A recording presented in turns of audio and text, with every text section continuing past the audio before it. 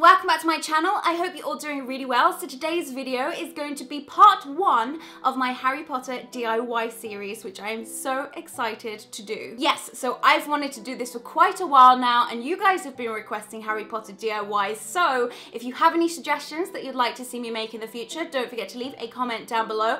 And if you happen to be new here, hello, welcome. You can click the subscribe button and become part of my weird magical online family. Now, let's get on with what you are all waiting for. So, my first DIY is this. It's really small, really cute, and very practical. So this here is the fat lady from the Gryffindor common room which is actually my Hogwarts house, and you have to give her a password to be granted access into the Gryffindor common room in the books and the films. So I thought it would be really, really cute to create a little frame with the fat lady inside, and when my friends and family come over and ask for my Wi-Fi and Wi-Fi password, I can just go go look for the fat lady and she, she'll tell you. Yeah, so that is what we're making today. So if you want to carry on watching and see how I made this, then yeah, let's get started.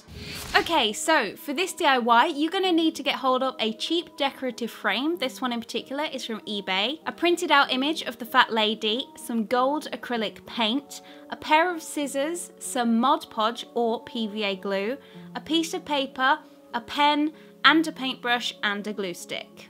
So to begin, I'm going to take the frame and open up the door on the back to remove the default image that came inside of it, and I'm going to throw it away. I'm then going to take my print of the fat lady and measure it against the frame to make sure that it's the right size, and I'm then just going to be cutting off any excess that I don't need. Then just pop her into the frame and lock the back into place. It's then time to get painting. Now I'm using gold as I felt it was an appropriate magical colour and it gave it a little bit of a majestic vibe to it. And I'm just painting a really light coat all around the frame.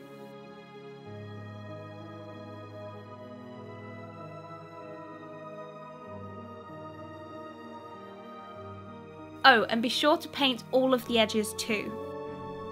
Once it's magically dried, or you can use a hairdryer to speed this process along if you want to, it's then time to gloss. So I'm taking an old brush that I really don't care about ruining and I'm using it to apply an even coat of glossy glue. This stuff dries clear and gives a nice shine and it'll also lock in your paint so it won't chip or flake off. Once that's dried too, I'm taking a piece of paper and I'm slotting it underneath the frame stand and I'm just going to be drawing around the edges with a pen so I know where to cut, which is the next step. Then, once you've cut it out, I use my glue stick to stick it onto the back and I'm making sure that it's firmly pressed in place and you can also trim the edges if you need to. Then all that is left to do is write your Wi-Fi and password down onto the back and the fat lady is now your password keeper.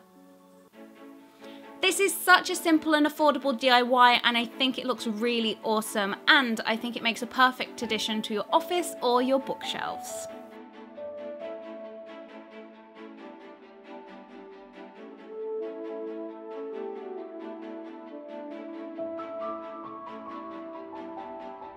And that's it. That is the end of my first Harry Potter DIY video. I really hope you guys did enjoy it. If you did, don't forget to give it a magical thumbs up. And again, if you're new here, you can click the subscribe button if you don't want to miss out on any of my future videos. Also, if you haven't had enough of me today, you can go and check out my previous video. And yeah, I hope you do really well. Thank you guys so much for watching. I love you guys so much and I will see you soon. Bye!